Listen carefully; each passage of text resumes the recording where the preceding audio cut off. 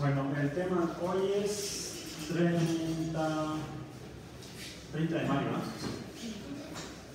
30 de mayo.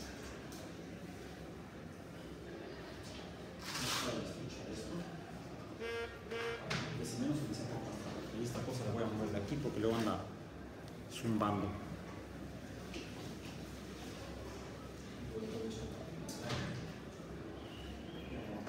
Amortigo el zumbido. Bien, entonces hoy es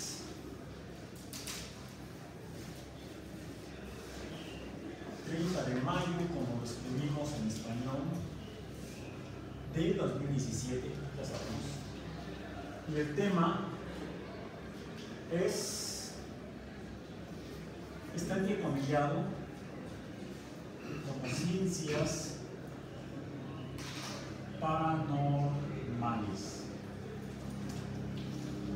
Y bien, hay este, algunos tópicos espectros, adivinación, PR. PR significa percepción remota. Percepción remota puede ser percepción remota. Este, pero no como la que hacen los satélites, sino otro tipo de percepción remota. Una percepción remota. Esa es otra. Hay otra todavía telequinesis, buenas, buenas y malas vibras. Y uh, se recomiendan dos lecturas del mismo autor, porque uh, en esos textos se desarrolló algunos ensayos sobre esta temática general de las ciencias paranormales. Bien, eh, ¿qué es la ciencia o qué serían las ciencias? ¿Qué sería la ciencia? Profesor, dijo que PR, ¿qué era, perdón? PR, percepción remota.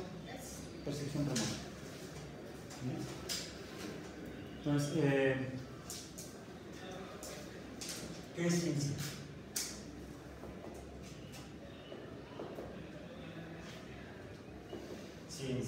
Lo, ¿Recuerdan que lo hablamos en la primera sesión? ¿Sí? ¿Alguna remembranza alguna definición pasa en su lugar. Simple, donde lo más simple posible, por favor, para que vayamos un poco más rápido.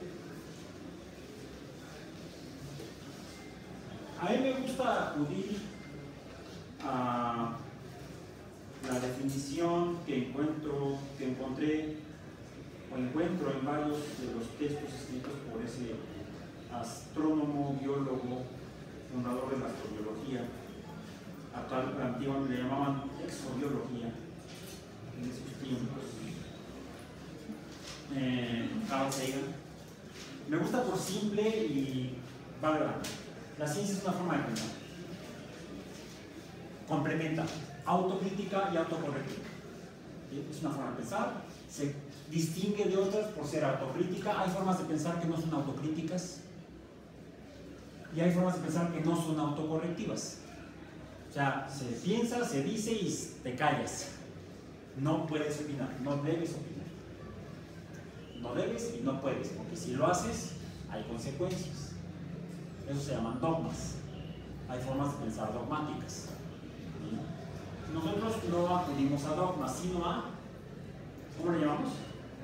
Paradigmas. ¿Bien? Ok.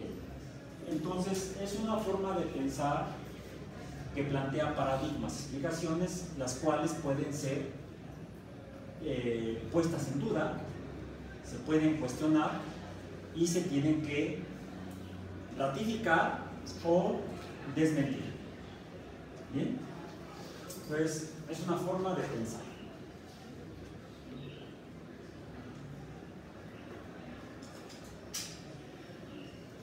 Decíamos, a autocrítica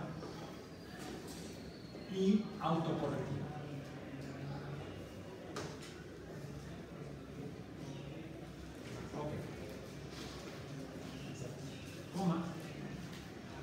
Entonces, ¿qué serían las ciencias paranormales? ¿Qué es paranormal? Digamos que es normal. Son dos, es, una, es, un vocablo que viene de dos raíces, para y normal. Comencemos con el sufijo, normal, ¿qué es normal? Podemos acudir a definiciones en contextos de disciplinas específicas como por ejemplo matemático. En matemática, ¿qué es normal? Sin miedo. Algo que está dentro de lo que Gauss describió de esta manera. Al ver la distribución como frecuencia de cosas que son iguales pero no idénticas, sino que se parecen, por ejemplo, las personas. Hay personas altas, bajas, muy altas, muy bajas, intermedias en las poblaciones. Y si hacemos, si tomamos un grupo de gente de una población, les medimos la talla, gente de la misma edad tendría que ser, idóneamente tal vez del mismo tipo cromosómico sexual. Creo que sería la definición más precisa de, para hablar de sexo o género. Porque si alguien dice este, eh, sexo, podría referirse a la actividad, podría referirse a, las dos formas biológicas que existen para, una, la reproducción sexual. Y género puede ser el género biológico, como en la taxonomía, como que compone al nombre de la especie, género y especie, o como en lenguaje coloquial más se entiende género masculino femenino.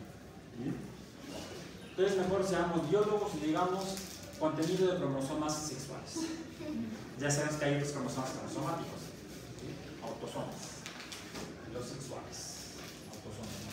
Entonces, si tomamos hombres de la misma edad de una población y medimos su talla, lo más probable es que veamos que haya unos pocos que son muy de talla grande, muy altos, otros que son bajitos, y la mayoría se distribuye aquí en medio.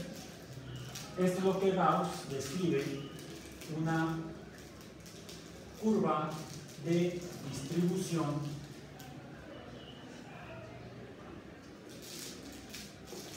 de datos normal.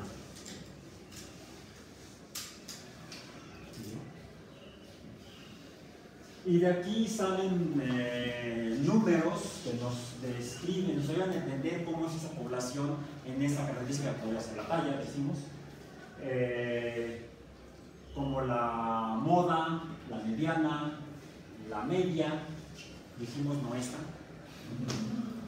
sino si la variable es x, sería, la media sería x barra. sería la media o promedio, en lenguaje coloquial es promedio. La media es el promedio, el promedio estadístico. Ok. Pues, ¿qué es una, qué es normal? Pues, en términos matemáticos, lo que se dice que se encuentra en, alrededor de la, del promedio de algo es normal la estatura normal de, un, de los hombres mexicanos eh, adultos todavía hoy en día es como de un metro setenta y dos más o menos, un metro setenta y cuatro. ¿eh? Es la estatura normal. No quiere decir que alguien que sea de dos metros, bueno, sí sería no normal, estaría fuera de la distribución de la media, decimos la media, que no es el valor de la frecuencia más alta. La frecuencia más alta, la, mayor frecuencia, la frecuencia más alta, es la moda, estadísticamente hablando. Incluso hasta el lenguaje coloquial se entiende. Pues, ¿Qué es la moda? Lo que la mayoría de la gente usa. La mayoría, lo, más frecuentemente usado, lo que está de moda. De ese está un parámetro estadístico matemático, determinable, innumerable. Así que un número De hecho, se fijan, mi curva no quedó simétrica bilateralmente, quedó un poco corrida hacia la izquierda. Aún así es una curva normal. Según Gauss, según Gauss,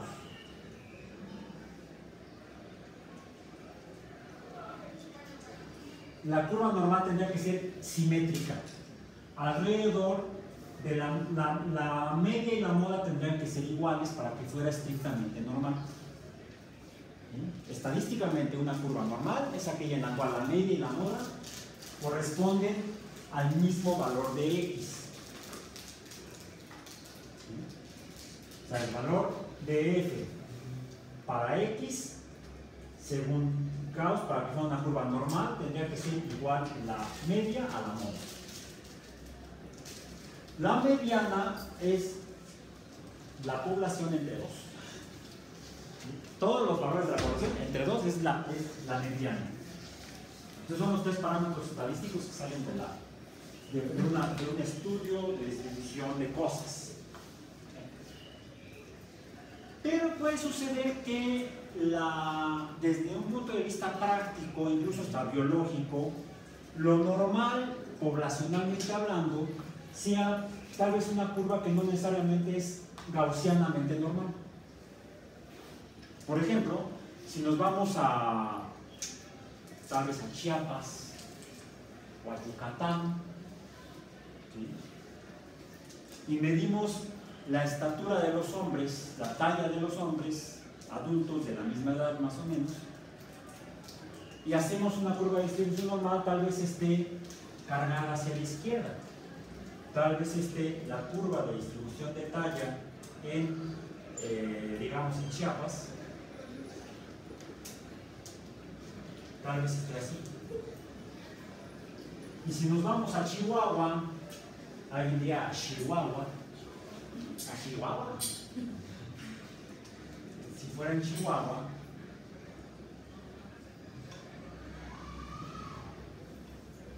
verdad, yo escogí, dos, entidades en dos estados con Che. Qué chistoso. Muy bien. Podríamos encontrar que quizá la curva no, fuera así, la curva de la pobreza. ¿Cuál es la diferencia respecto a la normal gaussiana? Pues que el promedio de talla o estatura de los hombres adultos en Chiapas es menor que en Chihuahua. En Chihuahua sería mayor. Incluso que tal vez a lo mejor esta sería la curva nacional, la distribución de la talla de los hombres nacional. Entonces, alguien es que estas son curvas no normales. Podríamos decir que biológicamente la normalidad en Chiapas es esta, mientras que en Chihuahua la normalidad es esta. Lo que nos está hablando de fenómenos biológicos de herencia genética, selección natural, etcétera, por algunos motivos, quizás sería porque algo similar sucede cuando uno eh, hace el estudio de los nativos australianos del norte y del sur del continente australiano. Los nativos australianos del norte son más bajos en promedio, su curva es parecida a esta, que los del sur, su curva es parecida a esta. ¿Por qué? Quizá la explicación biológica sería que en el norte de Australia lo que hay es bosque lluvioso tropical, selva. Y en el sur es prácticamente desierto. Lo inverso geográficamente lo que ocurre en México.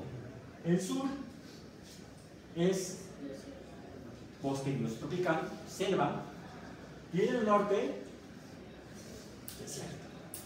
Quiere decir que ubiquémonos hace miles de años, con los primeros humanos que llegaron a esos dos lugares. Luchaban por sobrevivir, por comer y no ser comidos. Quiere decir que si estaban en algún lugar y estaban expuestos a ser atacados por un depredador, quizá ya, ya eran y, ¿recuerdan? podíamos correr. Pero ¿qué sucede si al correr te topas con, con Ramona? Yo con la Ramona. Hasta ahí llegaste. Y si tu compadre, que es más bajito, va corriendo junto a ti, ¿quién va a sobrevivir? Tu compadre. Pasa por debajo de la rama. Una explicación tal vez muy simplificada, pero que nos ilustra el por qué quizá donde hay mucha vegetación se seleccionó la talla más baja que la talla más alta. razonable. Verificable habría que hacer el estudio detallado. Pero es una hipótesis plausible. Eso en cuanto a la normalidad. ¿Qué es paranormal? Sí, lo, lo, lo, normal sería lo que existe, lo que está, lo que se da por factores naturales. Eso sería lo normal. ¿Qué, qué significa paranormal? ¿Bien? Más allá de. Para significa más allá. Recuerden de sus clases de química la estructura del benceno y de las moléculas en las que se hace sustitución de los eh, hidrógenos del benceno. Por ejemplo, del tolueno, CH3. ¿sí? CH3, CH3. Y si estamos haciendo la fabricación de algún explosivo,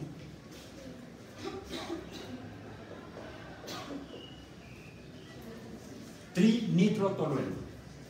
¿Qué significa eso? Que necesitamos a una molécula de tolueno pegarle tres grupos nitro, este, NO2. Se los vamos poniendo de poco en poco, de uno en uno. Y hay cinco lugares posibles. Se lo podemos poner el primer grupo nitro aquí, o quizá, vamos a decir, acá. ¿Cómo se llama esta posición? ¿Orto? Oh, voy a poner otro.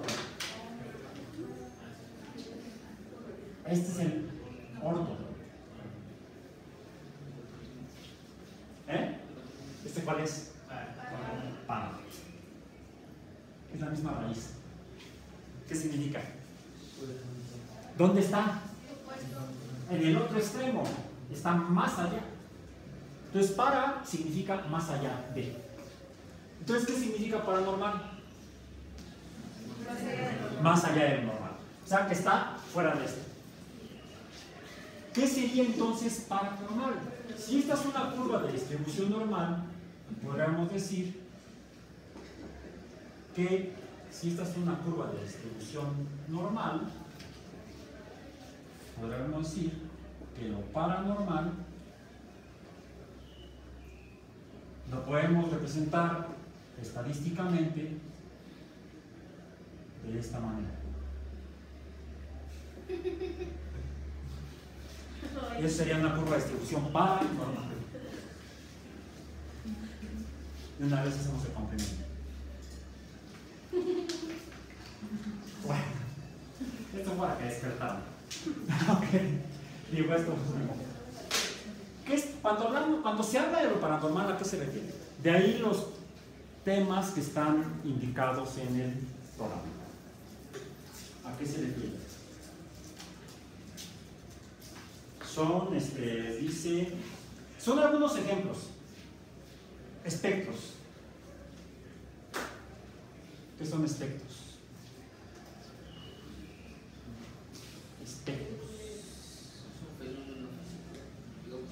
Ajá, ah, qué bueno que lo dices. Espectro. Un espectro es un fenómeno físico óptico. Eh, ¿Quién lo descubre?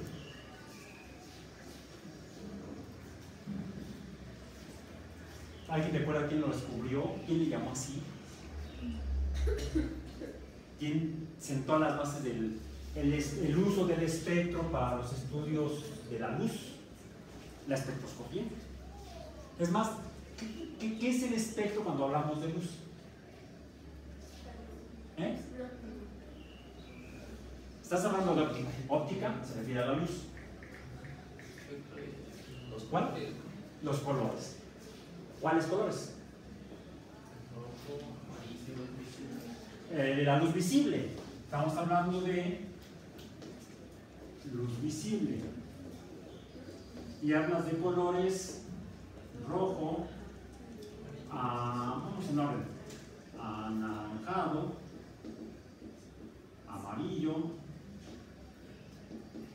bolillo, cabellos son amarillos, cierto, son más bien anaranjados. Amarillo luego, verde, azul,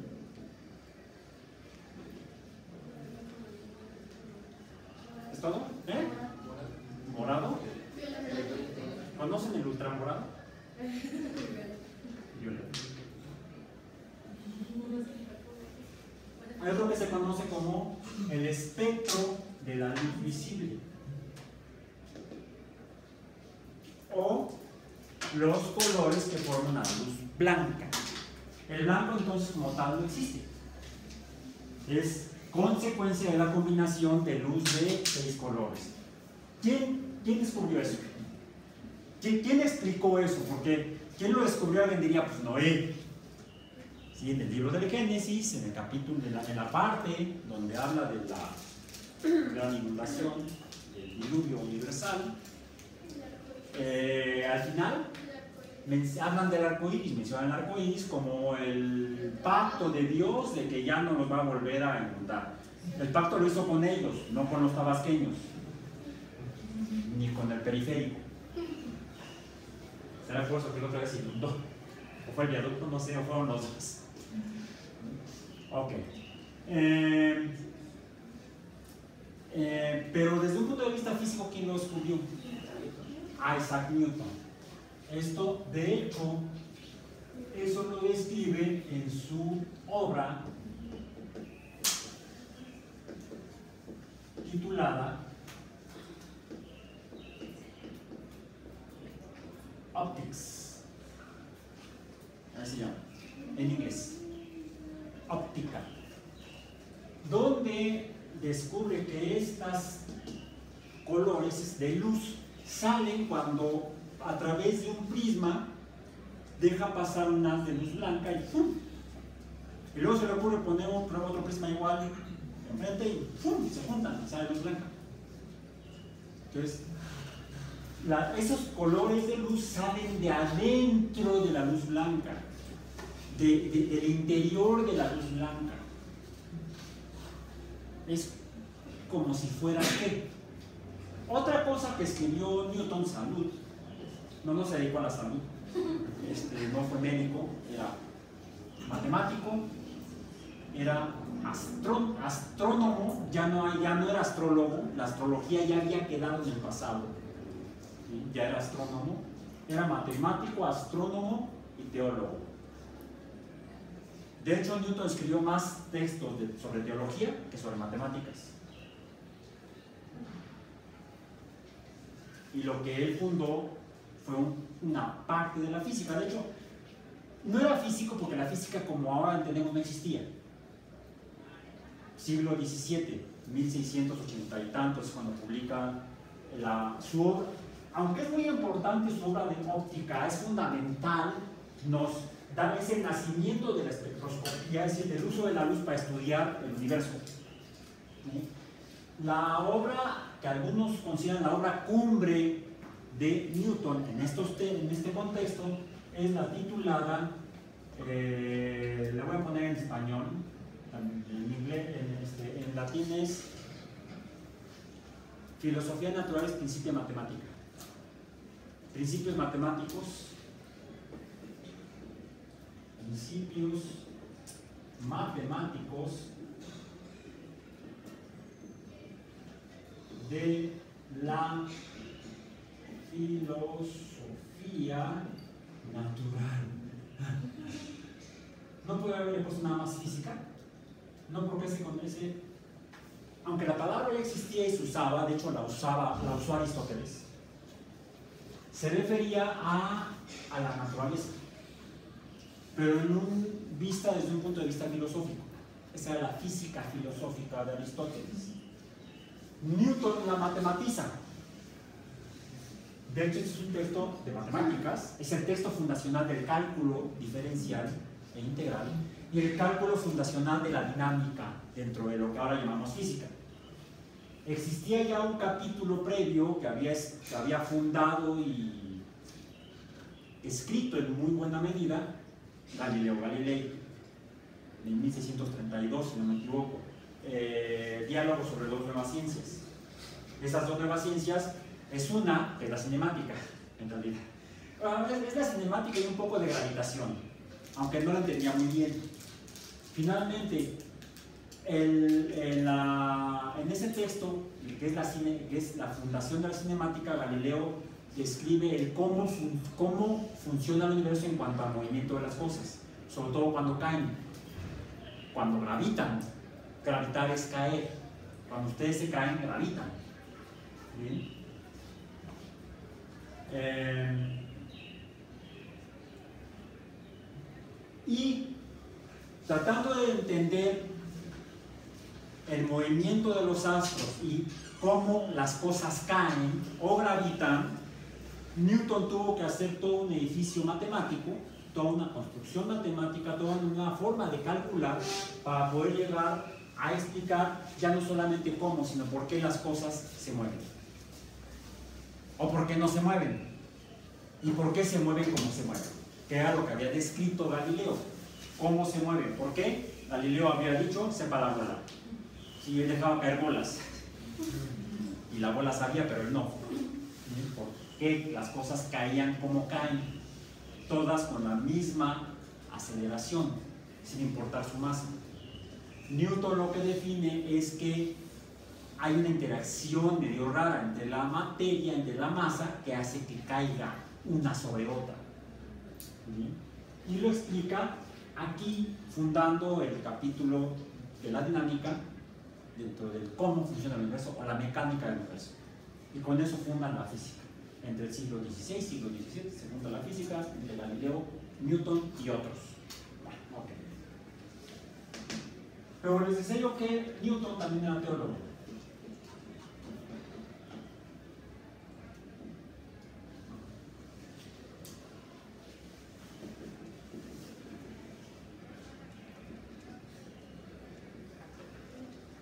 Es el espíritu de la luz. El alma de la luz. Blanca. Son esos. Ah, por cierto, él en Jareta, ¿qué otro color? ¿Cuál? Digo, El índigo.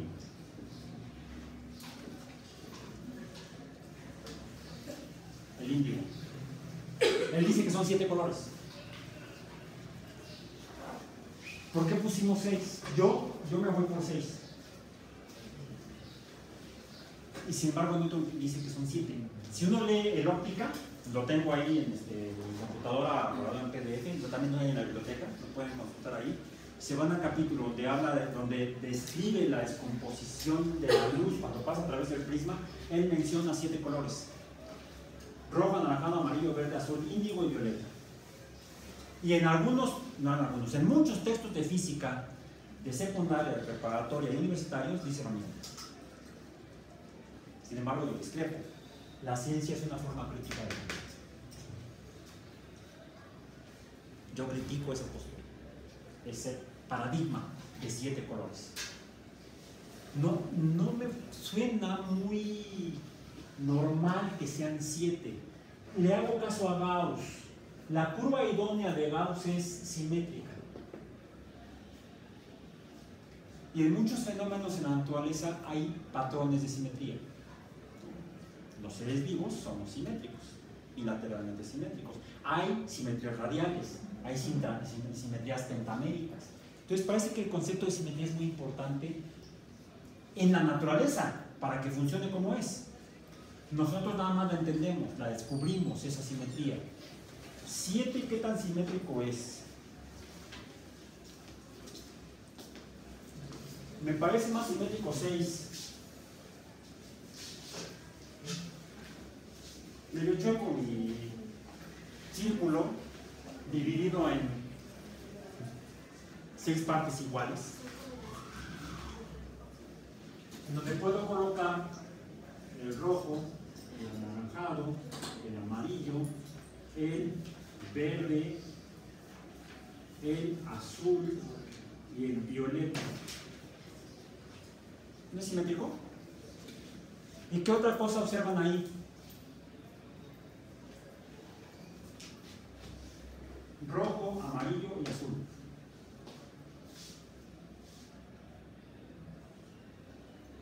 ¿Qué son esos?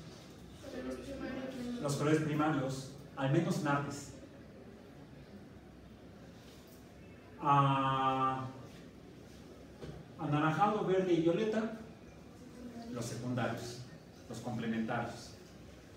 En el- la óptica del comportamiento de la luz es medio chistoso porque, por ejemplo, los sistemas de visión artificial en color, o donde vemos las cosas en colores, con estos colores y muchos otros, utilizan una combinación que es rojo, verde, azul. Se le llama RGB por sus nombres en inglés, Red, Green, Blue. RGB es el patrón para generación de imágenes de color en sistemas artificiales, pantallas, televisores, etc. Pero aún así estamos hablando de tres que complementan con los otros tres. Parece que hay un patrón de simetría base 3 o base 6, no 7. Entonces, ¿por qué Newton describe 7 en óptica? No se les ocurre por qué.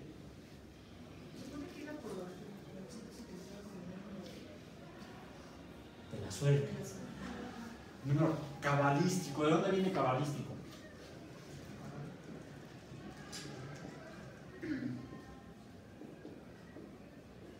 De la cábala. El 7 es un número que surge en muchos, muchos fenómenos naturales, sí, pero son muy peculiares. Y quizás son característicos de la Tierra. Si nos vamos a otro cuerpo celeste, a otro mundo, tal vez no sea tan evidente el 7. Por ejemplo, Newton era terrícola, vivía en la Tierra. La Tierra, desde hace, desde los asirios por lo menos, habían podido contar habían observado, habían observado la existencia de periodos, repeticiones, cosas que se repiten, y habían encontrado un concepto, el año. El año. Pero el año lo entendían como un, la repetición de patrones tanto climáticos como, como astronómicos. ¿Cuál patrón astronómico?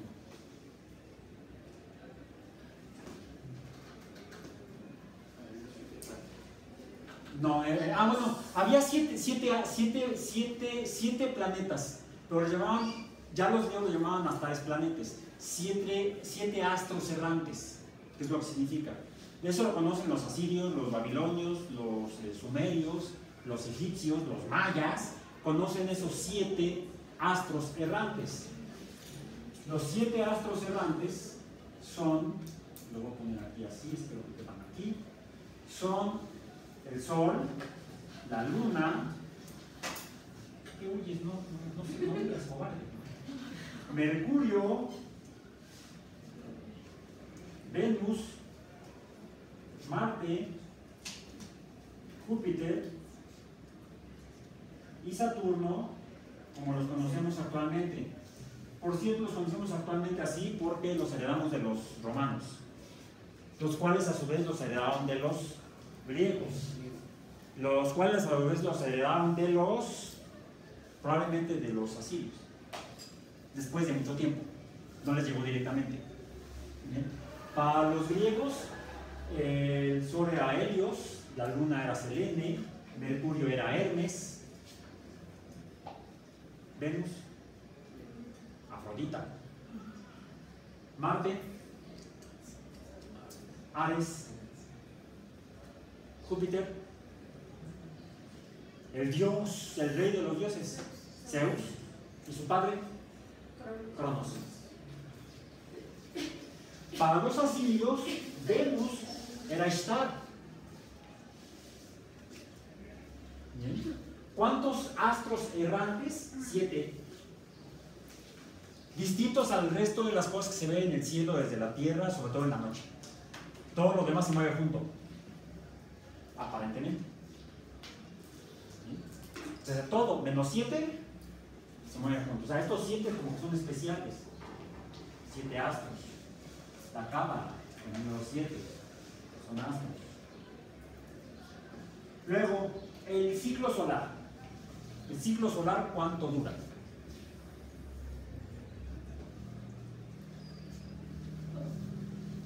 ¿Cuál es el ciclo solar?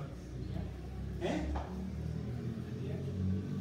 Bueno, habría dos ciclos solares, el día, el día está bien, el día, y hay otro ciclo solar, el año. Es un ciclo solar, o sea, el sol dando vuelta. Recuerden que es la visión geocéntrica antigua. No podían ver los asirios, ni los griegos, ni los romanos, y de hecho nadie hasta hace apenas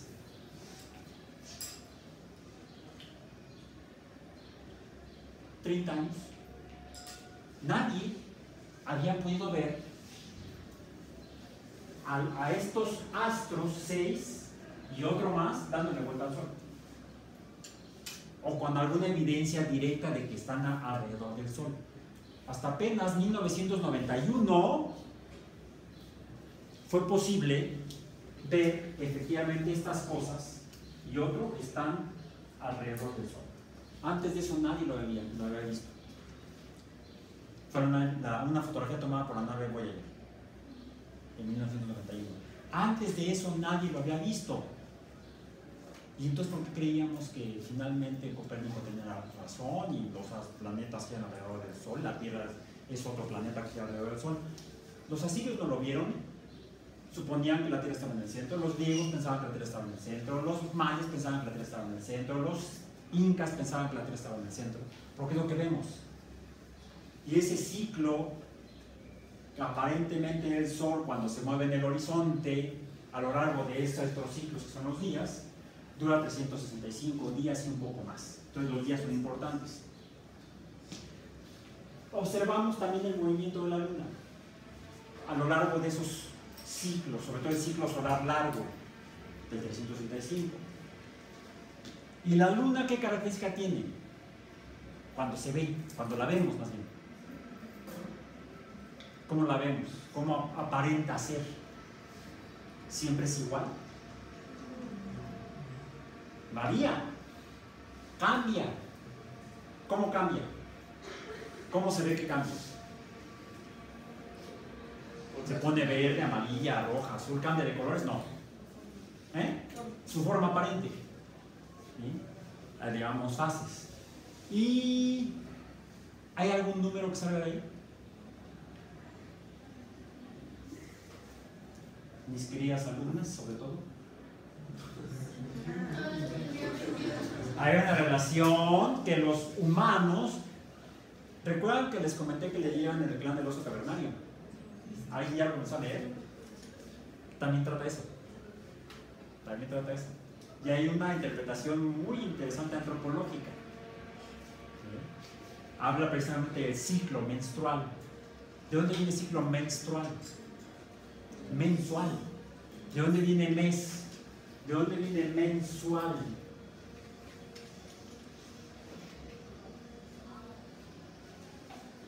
En otros lugares a la luna le llaman mons,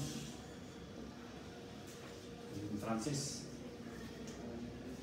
En inglés es moon, se parece. En, la- en latín y luego en español ya se fregó el asunto. Luna no se parece nada. ¿sí? Por eso tenemos que luego acudir a otras lenguas, no solamente el español. Y no necesariamente al inglés, más bien el francés. Mons. Se parece a mens. todavía. De hecho, los humanos medían el tiempo en diferentes periodos. Uno era el ciclo, el ciclo solar largo, que era el año. 365 días. El día que es el ciclo solar corto. Otro que serían los ciclos lunares, que se ve completa, que no se ve, no se ve y luego se vuelve a ver completa. ¿Cuánto tarda en días en ciclos solares cortos? 28. Bien, 28. Y de las visiones aparentes se ve completa, le llamamos luna llena. Cuando la luna se pone redondota como una crotota y alumbra el callejón, decía el poeta. Chava Flores. Eh, luego se ve la mitad. Eh. Ah, menguar, reducir, restar, menguante. Se va reduciendo hasta que queda la mitad, cuarto menguante, ¿cuánto tarda? Luego ya no se ve luna nueva. Luna nueva se ve cuando la empezamos a volver a ver. Luego lo vemos la mitad del disco lunar aparente y luego la vemos otra vez completa. En total son 28 días. Son 28 días. Y hay cuatro apariencias específicas definibles. Completa, media, nada, otra media y completa. ¿Sí? Sean las cuatro fases. Luna llena, cuarto creciente, cuarto menguante, cuarto menguante, cuarto este, luna nueva y cuarto creciente. Dividimos 28 días entre 4 y ¿cuánto nos da? 7. ¿Por qué dividimos a su vez los meses en periodos más cortos? ¿Cómo lo llamamos? Semanas. La semana viene del ciclo, del ciclo eh, lunar, no del ciclo solar. Revise los calendarios. ¿Cuántas semanas tiene el año? Y varía. Cuando el año, cuando el año es este, bisiesto, nos sobra o le agregamos un día más. Entonces ya no fueron 52 días. No es exacto.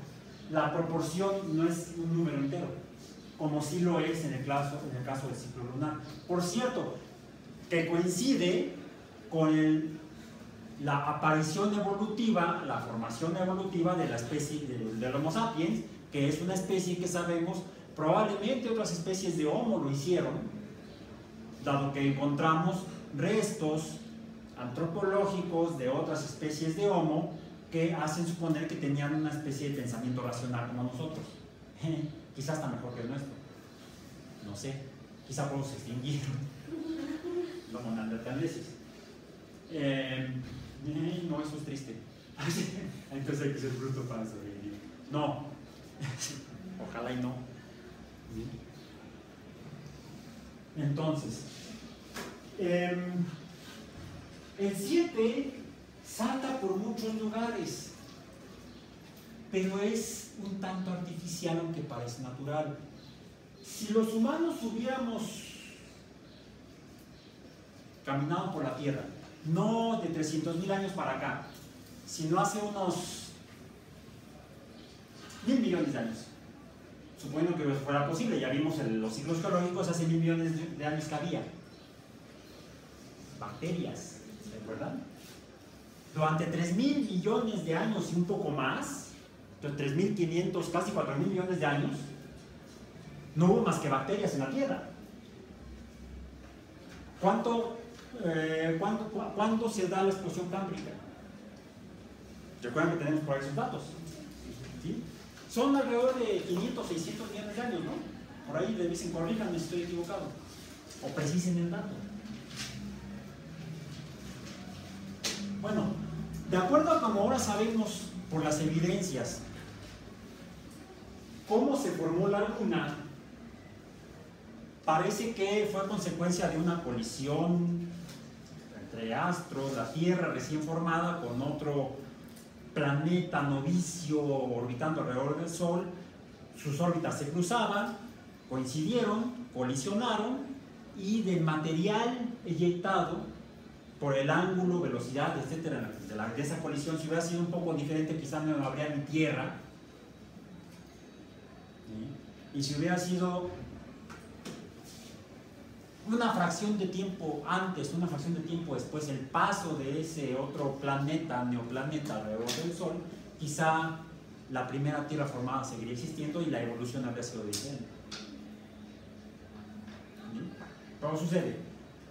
Se eyecta material de la colisión, no escapa completamente todo el material y empieza a crecer, a, a crecer, a rejuntarse por fuerza gravitacional descrita por Newton, y se condensa alrededor de la Tierra con dos características cuantitativas. Número uno, mucho más cerca de, la Tierra de la distancia que actualmente tiene, que es cerca de 400.000 kilómetros de distancia, 450.000 kilómetros más o menos es la distancia de la Tierra. Eh, cuando se forma, se forma mucho más cerca. Quiere decir que la, tierra se- la Luna se está alejando. ¿Cómo sabemos eso? Porque se está expandiendo. El universo. No, no es exactamente por eso. No. No, es porque lo, ya, ya lo midieron. De hecho, se mide todos los años. Desde 1969, cuando los norteamericanos llegaron a la Luna, caminaron, plantaron la bandera, dejaron también instrumentos científicos. Entre los instrumentos científicos que dejaron, de hecho, en tres misiones dejaron tres reflectores, tres excelentes reflectores de luz, a los cuales si apuntamos un láser desde un telescopio grande, un láser bastante potente, lo apuntamos este, a esos reflectores, la luz se refleja y regresa a la Tierra. Y, como sabemos que la velocidad de la luz es constante, podemos medir el tiempo de ida, el tiempo de regreso, y con un cálculo de física simple, calculamos la distancia. ¿no? La, la medimos la distancia. Y desde 1969, que se mide todos los años, se aleja a una tasa de 2 centímetros por año. Aumenta la distancia entre la Tierra y la Luna 2 centímetros por año. Si piensan ir, apúrense. Eh, si se está alejando, quiere decir que antes estuvo más cerca. Punto. Número uno. Número dos. eh, la rotación alrededor de la Tierra por las leyes de Kepler, que fue un antecedente a Newton, con- contemporáneo y eh, corresponsal de Galileo, eh, el periodo orbital, el tiempo que tarda en dar la vuelta a la Tierra, sería mucho más rápido. Y por lo tanto, estas fases lunares son consecuencia de la posición, la rotación y la, orbita- la, rotación, la rotación de la Tierra y la orbitación de la, de la. La velocidad orbital de la. Entonces, como esos números cambian con el tiempo, hace mil millones de años eran diferentes. Y entonces esta proporción no, no, sería. Es una proporción que coincide con la existencia de los humanos. Entonces, el 7 entonces es un número tan natural como parece. Para la descripción de fenómenos naturales parece que no. Parece que es una abstracción humana, una creación de la mente humana. Parece que no tan evidente como patrones simétricos como el 6 para los colores de luz. Parece. Todo esto lo tenemos que criticar y ponerlo a prueba y verificarlo o refutarlo. Ok. Bien. Fíjense. Entonces, ¿por qué Newton decía que eran siete colores? Parece que porque pensaba más, que más como teólogo que como físico todavía. Todavía hay mucho de pensamiento mágico en la cabeza de Newton. Entonces no es tan anormal pensar en lo paranormal. Es bastante normal poblacionalmente hablando. ¿Sí? Por ejemplo, los ejemplos que tenemos de eh, aquí, espectros. ¿A qué espectro se refiere entonces? ¿Al espectro de la luz? Cuando ponemos como fenómenos paranormales y hablamos de espectros, ¿a cuáles espectros nos, nos referimos? ¿A alguno de sus amigos les ha contado alguna aventura? ¿O han visto algo en YouTube? ¿Sí?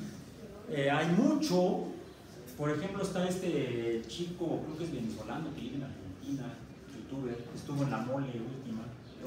¿Eh? Sí, Dross. Mis hijas son fanáticas de Dross. Este, una de ellas quería saludarlo, pero no pudo. Fue a la mole, pero fue a trabajar, entonces no pudo. Estaba en staff, entonces tenía que estar en el changarro que me encargaba y no pudo conocer a Dross. Bien, ¿qué es lo que- ¿Eh? Los siete colores más perturbadores. ¿Lo has visto? Sí. ¿Cuáles son los siete colores más perturbadores? Más perturbadores que el rojo, naranjado, amarillo, verde, azul, violeta, índigo. Pregunta, ¿por qué Newton dice que son siete? Número uno, este, aparece, ah, otra cosa, Newton también era alquimista. O sea, estaba, era un estuche de porquerías el señor, de monerías. Es una de las mentes más brillantes humanas que ha caminado sobre la Tierra. Pero estaba en el contexto de, de- de la cultura de su época, del conocimiento humano de su época. La química no existía, la química se va construyendo a partir de la alquimia en el recurso del siglo XVIII y XIX, un siglo antes de Newton. Newton todavía es alquimista. Ya dijimos, no era físico, Newton físico, no es cierto, la física no existía. Era matemático, astrónomo, teólogo, alquimista, y con base en la astronomía y la matemática inventó la física una buena parte de ello.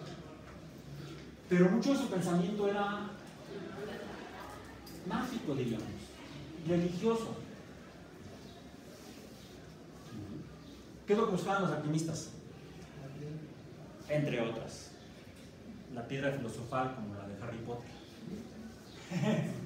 sí, es el mismo concepto. Un poco transformado por este, esta Jane Rowling transformar la materia, de hecho el plomo en oro, encontrar la fuente de la eterna juventud, etcétera, etcétera. O sea, muchas este, eh, atención a necesidades humanas. ¿A la gente le gusta morir? ¿Quieren morir? Yo no. Sin embargo, sé que me voy a morir algún día. Solamente hay un dato que es 100% y la gráfica sería una línea recta, punto, vertical. Todos los que nacen se van a morir. La única forma de evitar la muerte es no nacer. Ya nacieron, se friegan.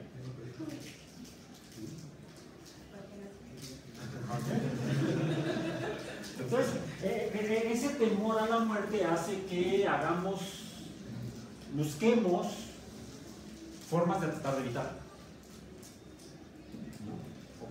Bien, algunas muy razonables, otras serían paranormales. Entonces, regresemos a los espectros. Entonces, ¿qué es el espectro? ¿Qué son los espectros? Es sinónimo de espíritu. Espectro es sinónimo de espíritu. Alma, gloria, avaricia, ah, no son. Espíritu, alma, espectro, fantasma. Otro nombre, fantasma. Ánima, ánima. De ahí ánima, vida. ¿Qué es la animación? Es que algo muestre que tiene vida que presente características de, estar vivo. Eh, soplo divino. ¿Vale? Aunque ente es más cualquier cosa. Estos son entes inmateriales, mientras que este es un ente material. Ok. Pregunta.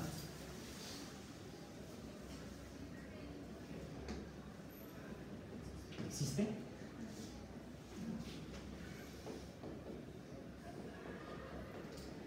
¿Existe?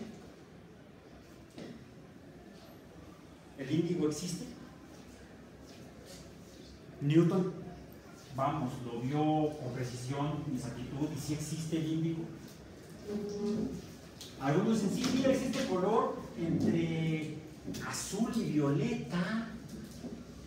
Y si uno lo ve, dice, tienes razón, no es azul azul como tu playera, no es violeta como tu chamarra, bueno, chaleco, chamaleco, no sé. Eh, es una cosa intermedia, ¿no? Entonces, ¿por qué no? ¿No han visto entre el amarillo y el verde algo equivalente, como el amarillo limón. ¿No? Hay limones que son verdes, hay limones que son amarillos y limones que son limones. Entre el verde y el azul, ¿no han visto el agua? ¿Eh? Algunos dicen el, verde agua, otros dicen azul agua. Yo mejor me quedo con agua, porque no es ni verde ni azul. Y si uno se fija, entre el amarillo y el anaranjado hay algo similar. Y entre el anaranjado y el rojo hay algo parecido. No es ni rojo ni anaranjado. Entonces, ¿por qué no 7 como dice Newton, sino 8, 9, 10, 11 colores en el espectro? ¿Cómo lo podemos reinterpretar? ¿Qué es el índigo? Es La transición, más que la combinación, la transición. No estás ni adentro ni afuera, sino en medio. ¿Eh? Es una transición. Porque el espectro visto desde este punto de vista, desde, desde esta óptica, no es, es un fenómeno aparentemente continuo. No cambia de un color de rojo a anaranjado, sino que va transformándose poco a poco. Y cuando llegamos a conocer un poco más de la física de los colores de la luz, lo entendemos un poco mejor. Vamos construyendo sobre los cimientos, no el edificio, los cimientos que puso Newton sobre la excavación que había hecho Galileo eh, para la construcción del edificio del conocimiento científico de la naturaleza. Por eso se llama principios matemáticos de la filosofía natural en la física. Es un análisis matemático del conocimiento de la naturaleza. Por eso se. Y nos ayudó a entender mejor en 1686 el mundo. Y nos ayudó a reprobar estudiantes en las universidades siglos después, en los cursos de cálculo. La culpa no la tiene Newton, sino los profesores de cálculo. Ok. Bueno, ¿Existe el alma? Ya vimos, existen estos colores, los podemos explicar como transiciones. Existe el alma. De aquí tenemos los colores para verlos y evidenciar. Y cuando hacemos, ponemos un espectro en un aparato, un espectrofotómetro, podemos verlos, podemos medir otros parámetros. Por ejemplo, actualmente sabemos que la luz es un fenómeno que parece como onda. Como fenómeno de onda tipo ondulatorio, podemos caracterizar sus parámetros numéricos, como son la frecuencia, la longitud de la onda, etc. Y podemos distinguir la frecuencia o longitud de onda de cada uno de sus colores y sus intermedios. Y entonces entendemos mejor el fenómeno cuando podemos hacer un modelo verificable. Esto lo verificamos, lo podemos hacer todos los días prendiendo diferentes espectrofotómetros. Y todos se van a comportar igual. Todos nos van a dar exactamente el mismo espectro, siempre que sea en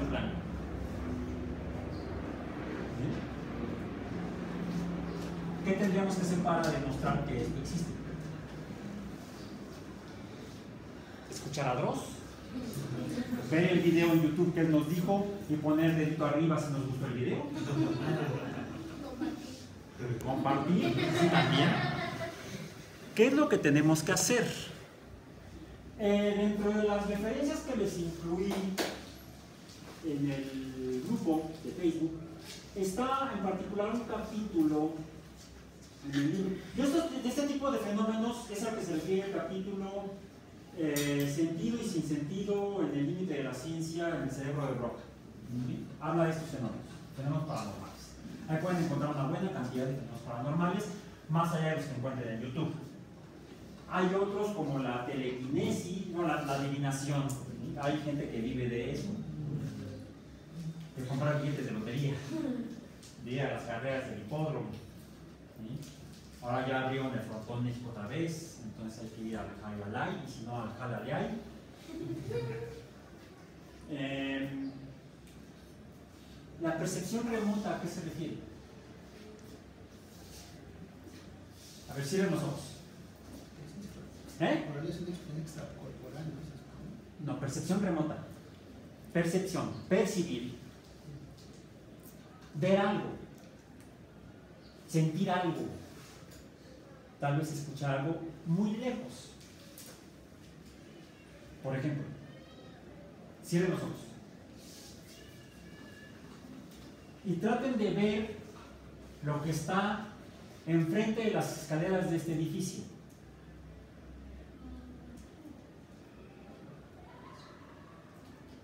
¿Ya? Escríbanlo en su cuaderno lo que vieron.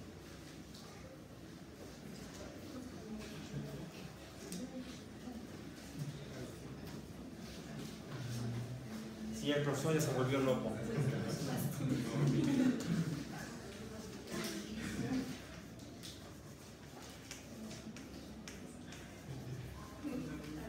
Ok, rápidamente vayan a sumarse a la, aquí a la escalera y vean lo que hay.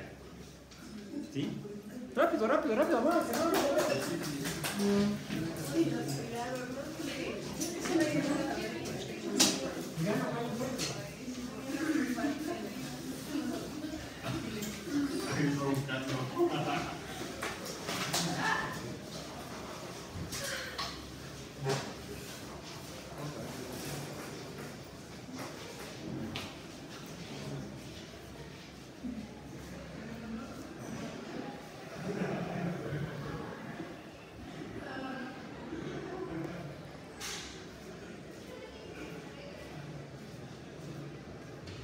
Adentro.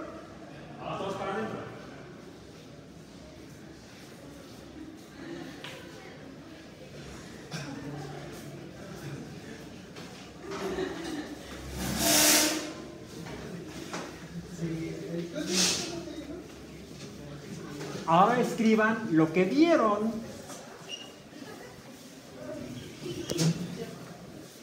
Que sí está enfrente de las escaleras del edificio. El edificio de hablas de edificios de no, no, lo que recordaban que había. la instrucción fue muy clara. ¿sí? Cierren los ojos y vean lo que hay afuera del edificio enfrente de la escalera. Fue la instrucción, ¿o no? No les dije recuerden lo que hay enfrente. ¿Correcto? Porque eso entonces sería una trampa de algo que no es percepción remota, la remembranza.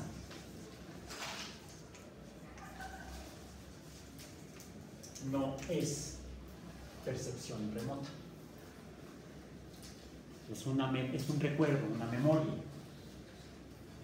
¿Qué es lo que, qué es lo que cuando, primero, cuando cerraron los ojos? Ojos cerrados. ¿Qué es lo que viste?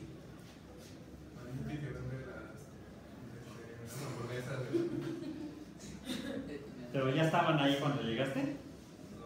¿No? A ver, este, vamos a ponerle aquí hamburguesas. A lo mejor es por la hora, ya hace hambre. Entonces, más que ver, fue un anhelo. ¿Qué fue lo que viste? Un árbol.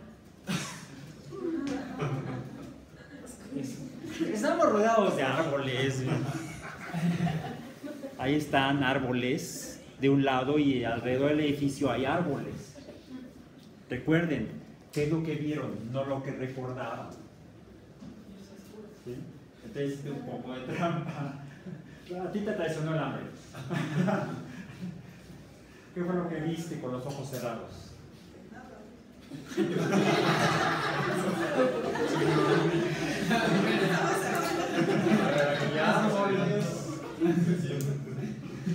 Nada. Alguien va a decir, oscurito. ¿Qué viste? Ruido. ¿Viste ruido?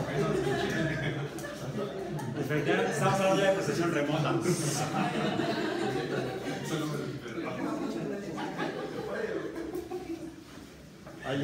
¿Qué fue lo que viste? Ah, ventana de aquí a- ¿Con los ojos cerrados? Sí. La ventana.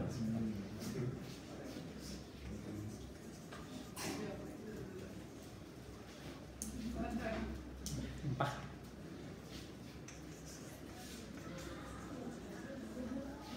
A ver, ahí. Personas caminando. Personas. Pero alguien en particular. ¿Personas de qué, qué tipo de personas? Alumnos. ¿Qué características tendrían sus alumnos? Los que viste cuando se hacen los ojos. No sé. No sé, solo vi así como pasa gente. Gente. espectro patronus. Persona. Tuviste gente y tuviste personas. Bueno, ok. Ahí van a decir humanos. ¿Alguien vio humanos? Árboles. Árboles.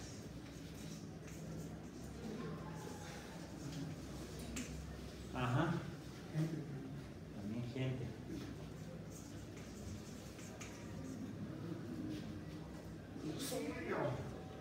Han hecho fracasar el experimento. Ah, chicos comprando dulce. Eh, compradores dulces. Clientes, vamos a poner.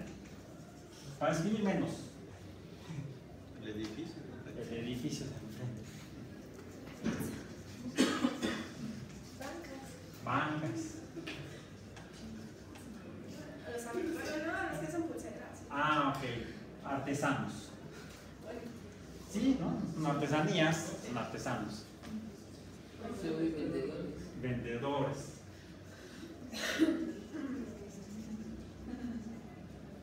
Los pastos. Pastos. Les digo que están buscando, pero no percepción remota aquí. Este. Chicos, creo que han escogido la vocación apropiada. La ciencia. Como adivinos se mueren de hambre. Entonces, sí, hay que ponerse a estudiar para ser buen científico. Porque adivinadores no la van a hacer. Eh, hagan el ejercicio en casa, ¿eh? Lo pueden intentar. No, mejor sigan estudiando ciencia, de verdad. Lo que sería interesante sería que intentaran el, exper- el experimento con sus amigos, sus familiares en casa. Es decir, háganlo en casa. Porque mucha gente cree en la percepción remota. Siento que algo está pasando. no, yo sí. ¿Eh? Sí, sí, de repente, de repente. Este, la, gente entiende la percepción remota como la capacidad de ver a la distancia sin verlo ópticamente eh, lo que hay o está ocurriendo en algún otro lugar donde no están presentes. Le llaman incluso siento que veo a una... ¿Sientes o ves? Por lo de, de entrada vemos que es algo que está vagamente descrito, vagamente definido más bien. Podríamos acotarlo a eso. Las visiones o imágenes que la gente crea en su mente y que asume que están en algún lugar lejano y que son reales esas imágenes que está viendo. Son imágenes de cosas o eventos o personas reales. ¿Cómo saber que eso es factible o no? ¿Cómo saber que eso sí ocurre, sí existe o no? Hay que probarlo desde el punto de vista del pensamiento crítico con base en ciencia. No me la voy a creer nada más porque me lo dijo alguien. El siguiente ejemplo, telequinesis. ¿Qué es la telequinesis? Telequinesis. No es un programa de televisión. Lo estoy poniendo como lo ponen muchas veces con K, pero se puede poner con Q. Kinesis, porque viene de kinetos, movimiento. ¿Eh? Mover las cosas, ahí ya, con la tele. no, a distancia. De hecho, tele es un- una modificación del vocablo televisión. Ah, y diría, la percepción remota, pero la de es la que usa uno un instrumento para capturar una imagen y transmitirla a distancia a otro lugar donde alguien la pueda ver. Y eso significa televisión. Telequinesis sería mover las cosas a distancia sin tocarlas. A ver, los que están de aquel lado del salón, traten de mover las bancas que están de este lado, pero sin tocarlas.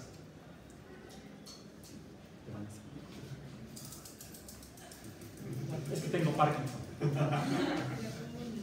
Se decir a un compañero que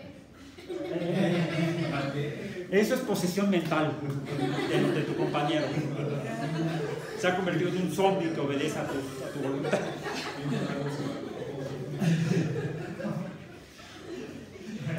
Telequinesis. existe la telequinesis.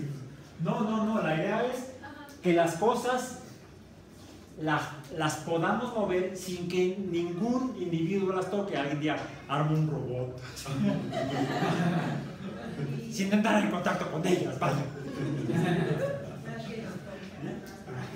Eh, Le soplo. No, porque el aire es materia. Entonces es un, láser de 500 mil watts de potencia y no lo vas a quemar. No, no vas a mover, sí vas a mover, pero como moléculas. El sueño de Ronald Reagan para su famosa guerra de las galaxias.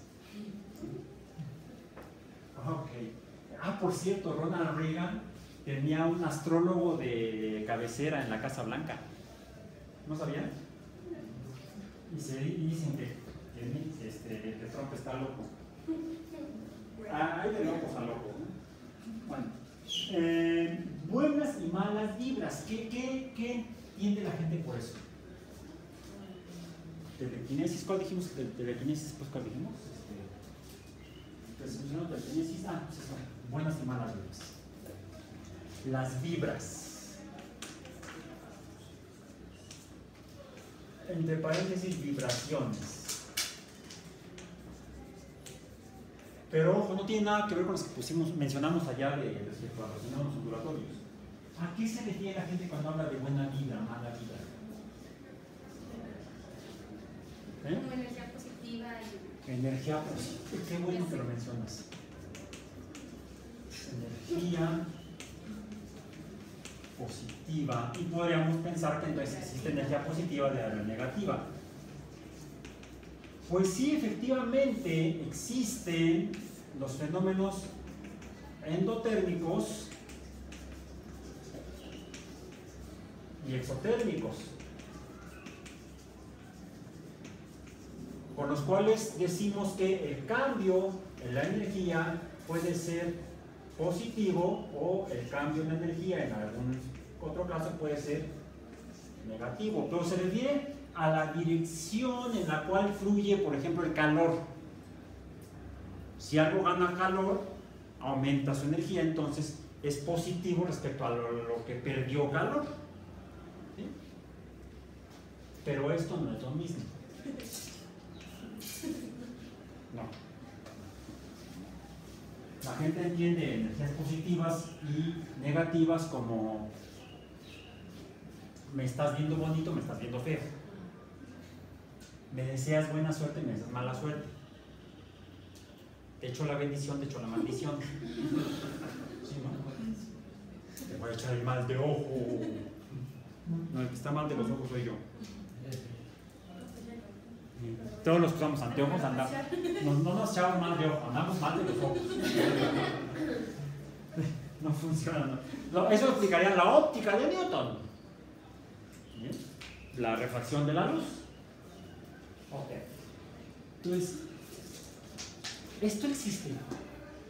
El que alguien tenga buenos deseos por alguien va a hacer que ese otro alguien tenga buenas experiencias, no tenga incidentes o accidentes, alguien le deseó una mala vibra porque mi dedo se aplastó, no, no, quiere quedar, bueno, no, parece, parece que una- este, o negativas, ¿existe o no existe? Hay que probar que existe. De hecho, ambas cosas. Recordemos que en ciencia no podemos demostrar negativos. No, me refiero a esto, sino no podemos demostrar que algo no existe. Tenemos que presentar la evidencia de que algo sí existe.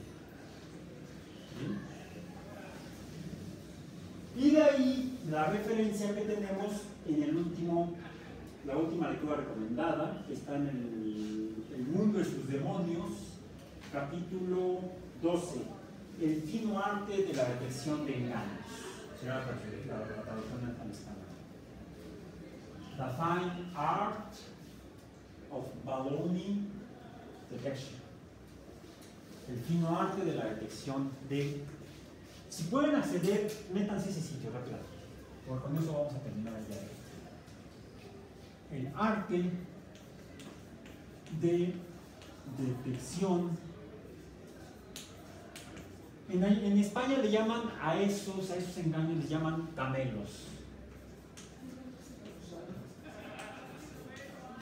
Camelos. Engaños. Pero para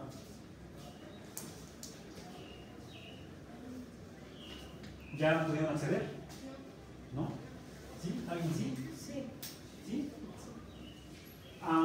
Está, es un sitio web, porque les puse dos ligas, una es el libro, con el, el- el- el libro, el cual pues, se van a tener que echar todo, no no es necesario, tenía que leer nada más el capítulo 12, que no es muy extenso afortunadamente, pero es más práctico irse exclusivamente al, este, al capítulo,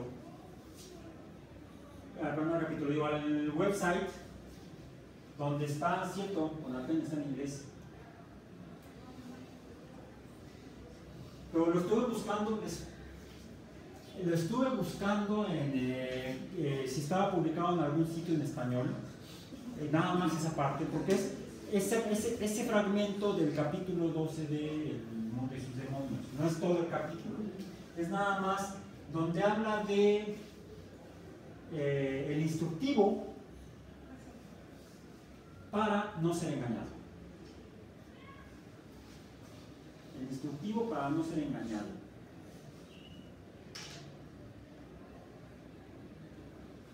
Y vamos a revisarlo rápidamente. Espero yo. Esta cosa se está conectando, sí, sí conectó.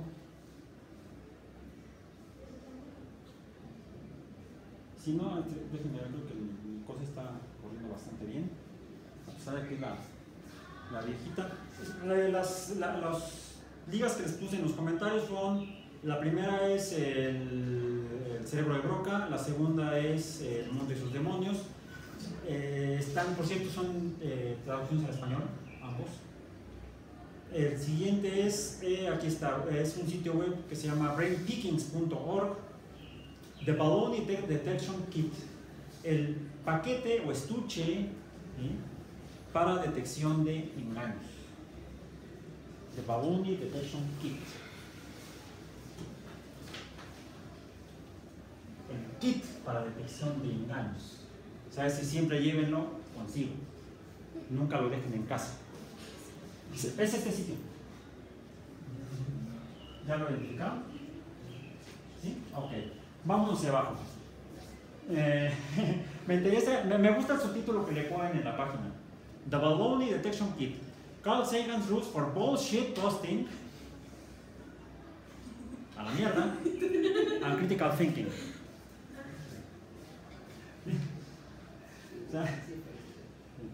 Eh, los, la, la la- la fuerza cognitiva necesaria contra la propaganda, pseudociencia y las mentiras en general. Mentiras en general. Lo, lo- lo interesante de esto es que es aplicable a cualquier actividad humana.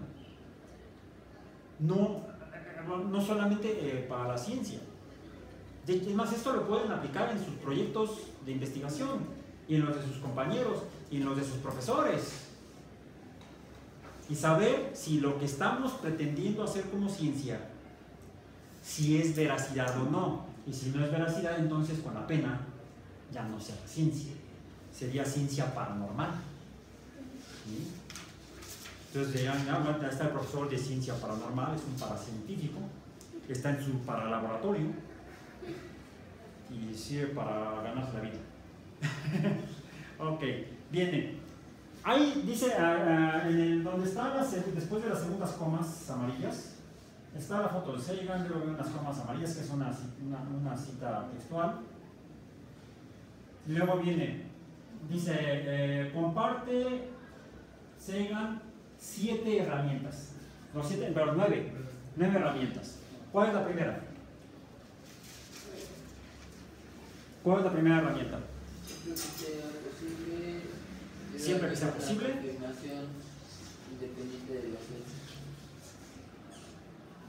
Debe haber, debe haber confirmación independiente de hechos.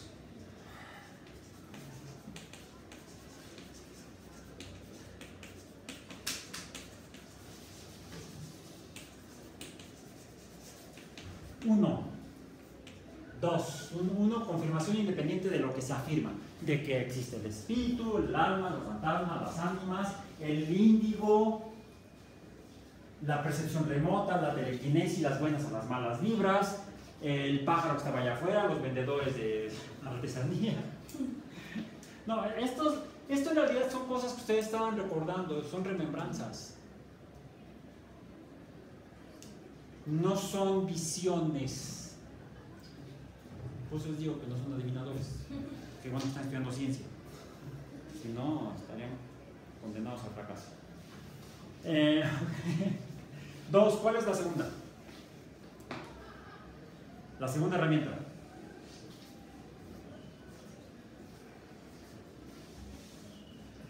Promueva, eso significa encourage, promueva el debate sustantivo sobre evidencia por gente que sepa del tema. Gente que sepa del tema. O sea, hay que promover el debate. Debatir, pero el debate sobre evidencia. Ojo, yo aquí discrepo un poco, discrepo un poco porque apela a, alguien que sepa del tema. ¿Mm?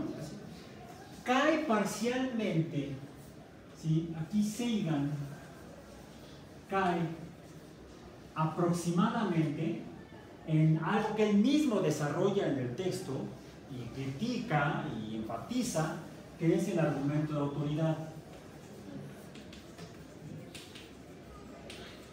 Porque esa persona que sabe puede estar equivocada como Newton se equivocó.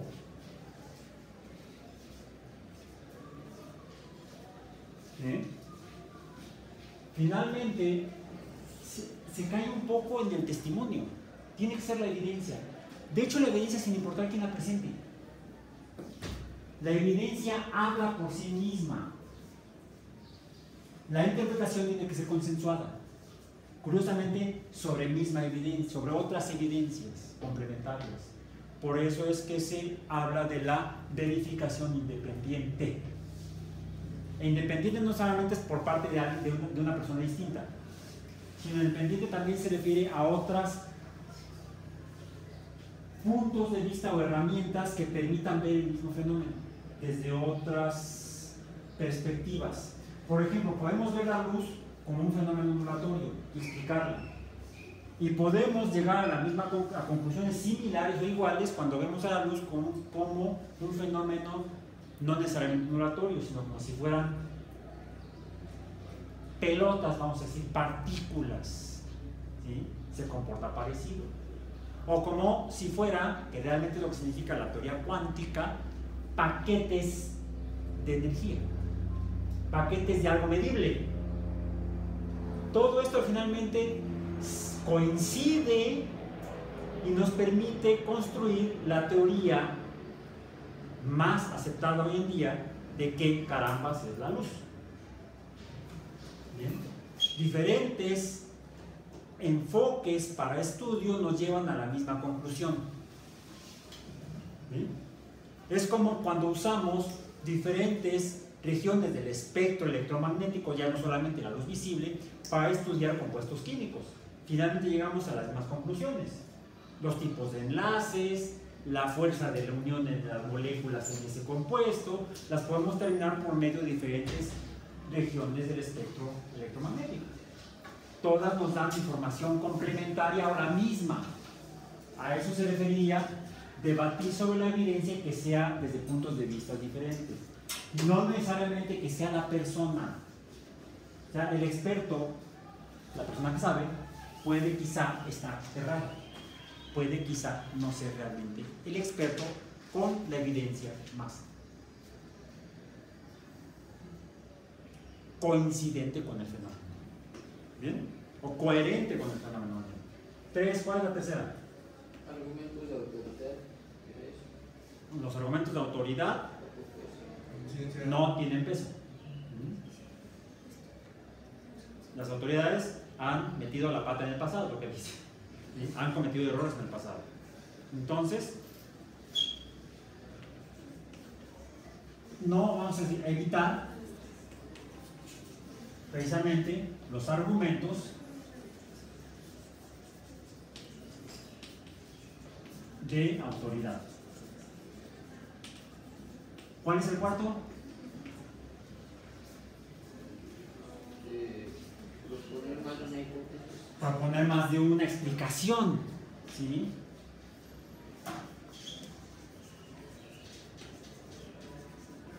Más hipótesis.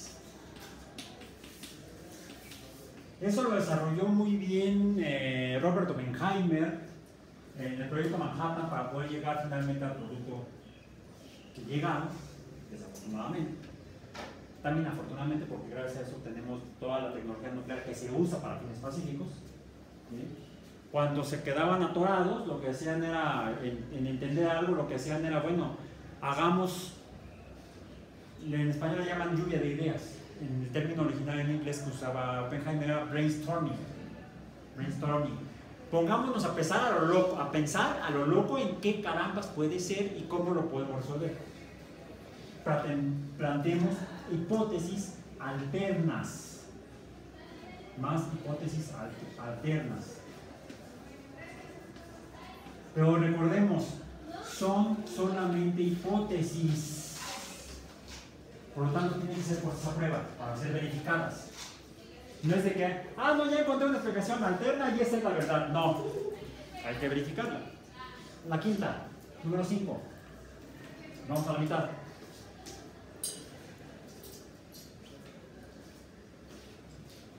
No quedarse con una sola idea. Con la que te gusta. Yo lo pongo como no casarse con las hipótesis. Son muy volúmenes. las hipótesis.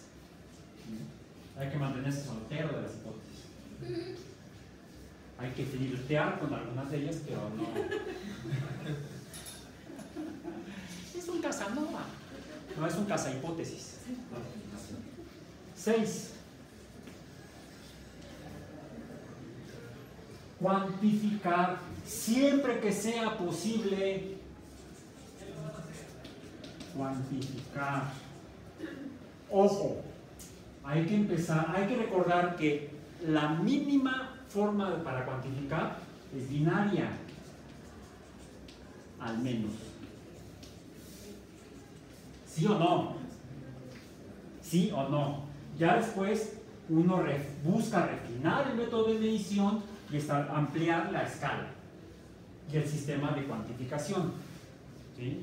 Primero detectamos, ¿hay o no hay respuesta? Si hay respuesta, bueno, veamos si la respuesta siempre es igual o es gradual. La, primera, la primera respuesta entonces es, ¿existe o no existe? Cuando uno tiene una medición, puede decir, bueno, parece que existe. Hay que refinarlo luego. Esto siempre es lo más difícil porque requiere desarrollo tecnológico. Inventar los métodos para la medición. Los métodos para la medición. Siete. Nos faltan tres. Siete, ocho, nueve.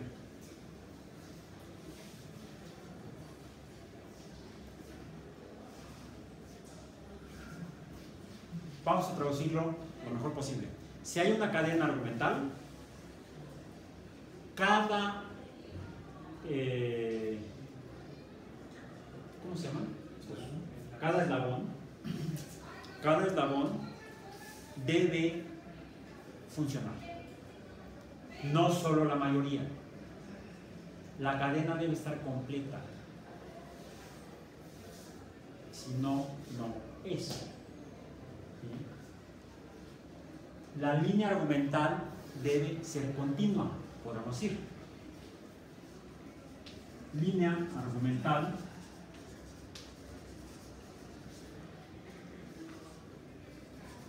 Continua y yo diría y coherente.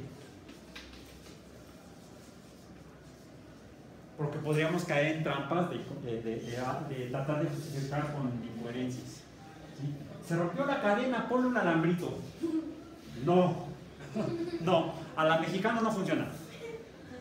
Y eso de arreglarlo con un alambrito, un celofán o un segurito, no funciona. ¿Sí? ¿No son las herramientas con las que los mexicanos arreglan todo? Ah, y el masking tape. Que por cierto, se llama cinta para encubrir, no cinta para juntar. Para juntar en todo caso usen la cinta de pato. ¿Saben cuál es esa? La duct tape. es una transformación de, la palabra en inglés. Es cinta para tubos o ductos. Por eso se llama duct tape. Pero cuando lo pronuncian rápido suena- parece que suena cinta de pato. Duct tape. Cinta de pato. La gente lo conoce popularmente como cinta de pato. No. La, la línea argumental tiene que ser sólida, continua y coherente. Sólida, continua. Si no, hay que cambiarla. No vale parchar. No hay parches. 8. Esa me encanta. Tiene un nombre, es la ventaja. Yo le decía mal, un amigo me corrigió en el español. Yo la mal traducía al español. Yo le decía rasuradora, y me dice un amigo, no. eh, Alex Pisante se llama, es químico de la UNAM. Es la navaja de Ockham. ¿A qué se refiere? Es como nuestro modelo de la- del espectro de la luz visible. El espectro de Newton es de siete colores y con una argumentación estética, con una argumentación estética, simetría, le quitamos el séptimo y lo transformamos en un sistema simétrico de seis que funciona, funciona a través de la complementariedad, etcétera, etcétera. Bien. Le cortamos lo que sobra con la navaja de Ockham. Lo podemos sintetizar como la explicación debe ser simple, hay que quitarle lo que sobra. Y de hecho, las teorías científicas o modelos científicos que, se han comprobado a lo largo de la historia reciente como más precisos en la descripción de la naturaleza que describen, son simples y hasta bellos estéticamente. Se le ha quitado lo que sobra. Piensen en, por ejemplo, eh, mover esto para que se vea un poco mejor. Saluda. Por ejemplo, la causa, del, la causa fundamental del movimiento descrito por Newton en la mecánica clásica, en los principios, en los principiales, le decimos al libro. Ese es el título largo. La cantidad de movimiento o aceleración de los objetos depende de la magnitud de la fuerza. Punto. La energía que existe en la luz, la energía que existe en la luz depende de su frecuencia multiplicada por una constante. La ecuación de Planck. Y la ecuación más famosa del mundo, la energía que existe en la materia en el universo.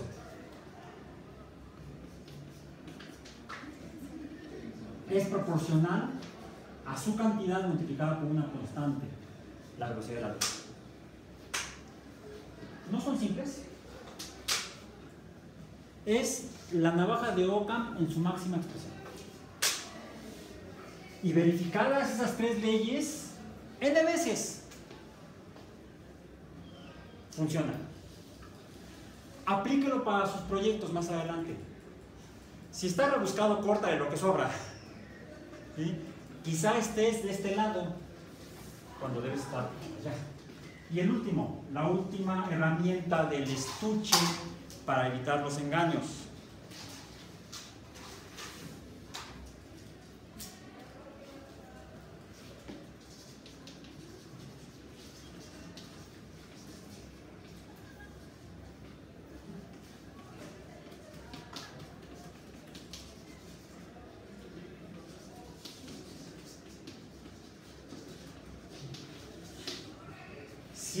dudar de la última explicación, porque podemos estar equivocados.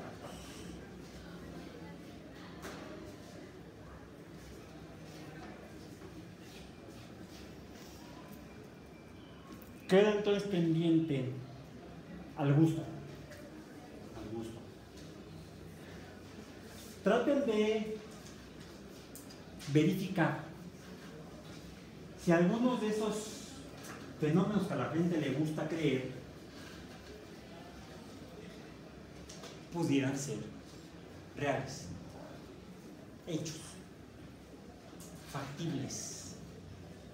¿Sí? ¿Cómo lo harían? ¿Cómo lo probarían?